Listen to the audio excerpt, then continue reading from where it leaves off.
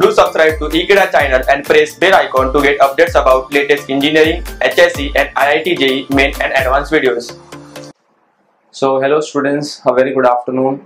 Uh, we'll be talking about pumps today. We've already seen what are turbines. So next after what turbines is, we'll study pumps.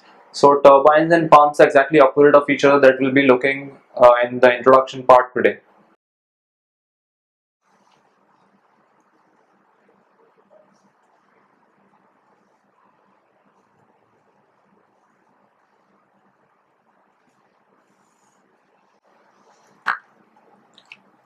So the introduction of centrifugal pumps will talk about uh, the very basic difference between the pumps and turbines and you'll come to know what pumps are.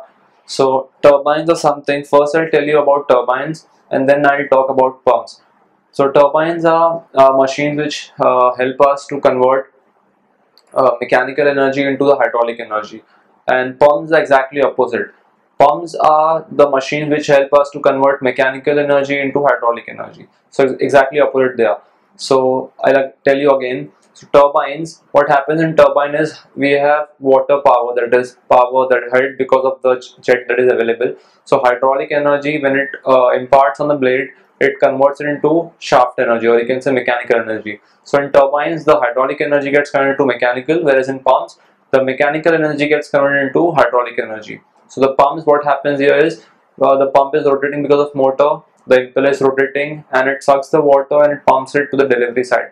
So this is the difference, exact difference between both. So turbines and pumps exactly opposite of each other. The difference is in the type of conversion of energy. One converts uh, hydraulic energy to mechanical energy, other converts mechanical to hydraulic energy. So this is the difference. This is a basic introduction of centrifugal pumps and there is also a difference between the construction of turbines and pumps.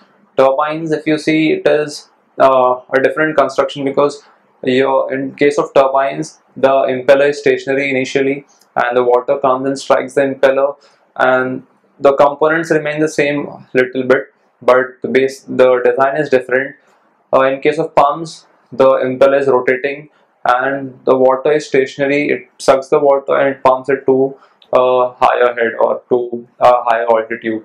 So that is the basic difference and that is all about the introduction of centrifugal pumps. So we saw the introduction part a little bit. Now we'll see the working principle that is involved in centrifugal pumps. So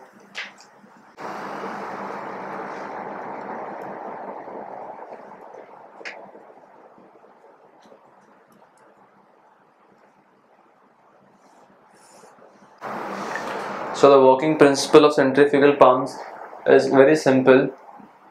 Uh, you have a casing similar to turbines and inside the casing there is impeller and the impeller is mounted on a shaft which is connected to a motor.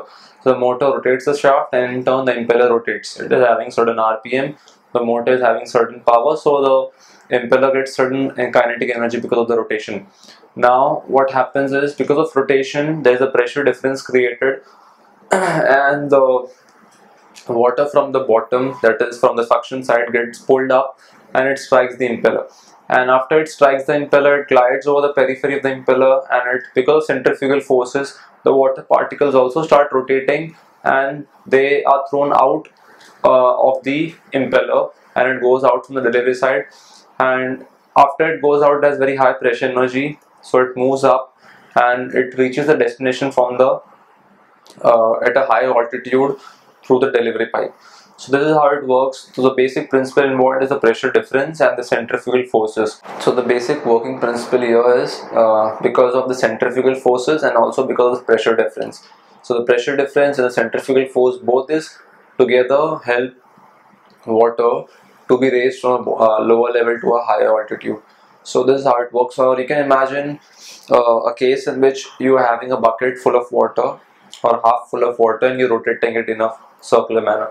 So even if the bucket is at the topmost position and you're rotating it with certain RPM, uh, even if the bucket is at the topmost level, the water will not fall out, fall down because uh, the centrifugal forces help the water to be stuck to the uh, bottom. So the water doesn't come down because it is rotating and it is having certain kinetic or certain centrifugal forces with it involved with it and this centrifugal forces does not allow water to go down. It works on the same principle centrifugal forces. Uh, the, it works on the same principle these pumps. So when the water strikes the impeller it has certain kinetic energy it is rotate, rotating uh, along the periphery and the water particles of water they have very high kinetic energy and they just are thrown out along the radial direction. And once they are thrown out it goes from the uh, delivery pipe to a level that they have they should have reached.